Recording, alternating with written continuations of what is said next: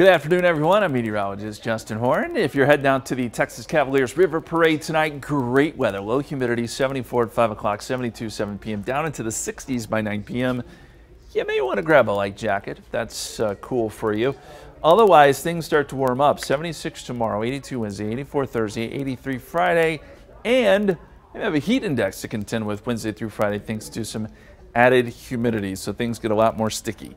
Here it is in the extended forecast 76 as we said tomorrow. Mostly cloudy skies because we have more humidity. You'll start to see some of those morning clouds, maybe some morning drizzle.